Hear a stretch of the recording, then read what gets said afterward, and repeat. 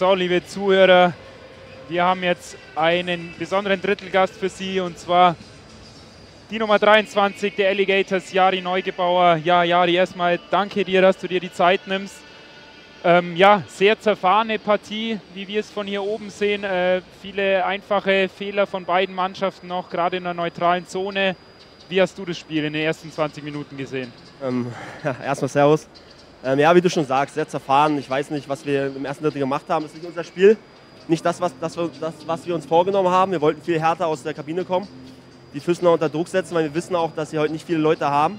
Aber bisher machen wir einfach absolut gar nichts und ich hoffe, ich de denke und hoffe, dass es ein bisschen lauter in der Kabine wird und dass wir nächstes Drittel Vollgas geben.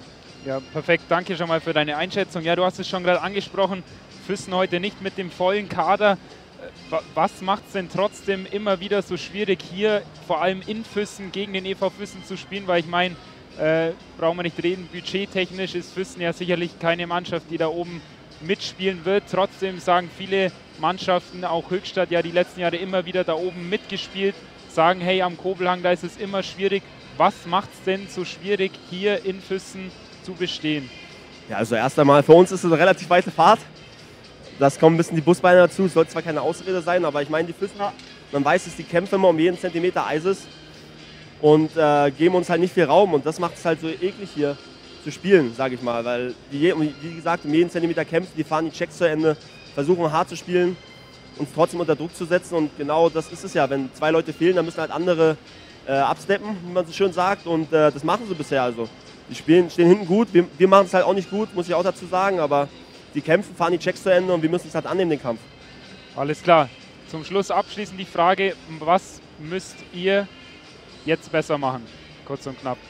Also ich denke einfach besser hinten aus der eigenen Zone kommen, zusammen spielen, äh, Scheiben zum Tor, mehr Druck zum Tor und ich denke dann auch, dass wir die Qualität haben, da die Tore zu erzielen.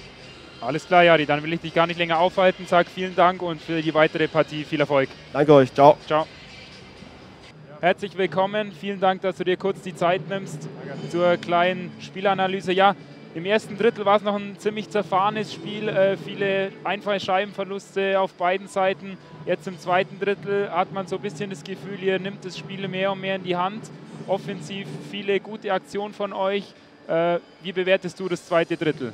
Ja, wir haben das umgesetzt, was der Trainer wollte. Wir spielen super, wir nutzen unsere Chancen. Also auf geht's weiter.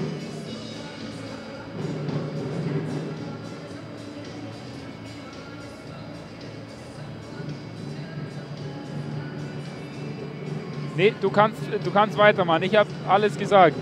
Ich habe auch schon alles gesagt. okay.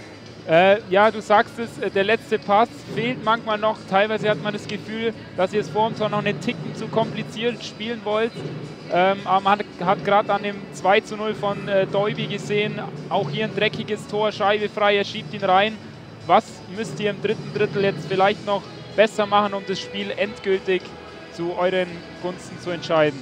Ja, wir müssen einfach schießen und vors Tor gehen und die Rebound nutzen. Und dann passt alles. Okay, alles klar. Anton, dann vielen Dank. Danke. Und weiterhin viel Erfolg. Dankeschön.